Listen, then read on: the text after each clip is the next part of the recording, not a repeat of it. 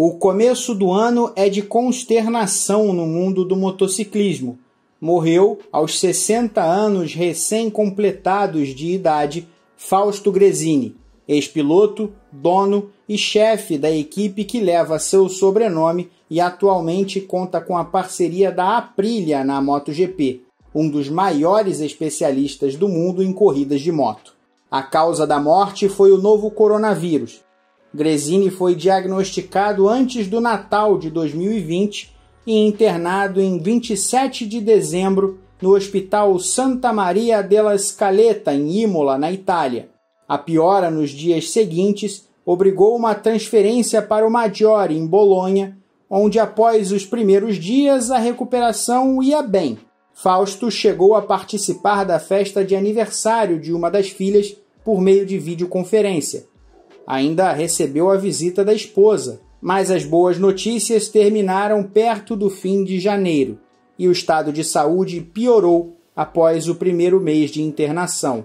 No último dia 23 de fevereiro, não resistiu.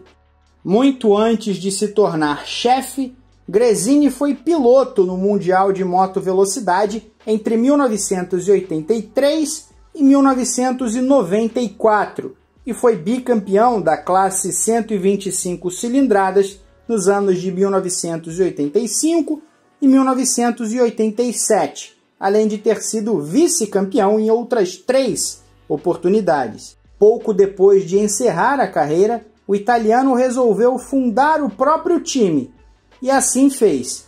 Em 1997 nasceu a Gresini.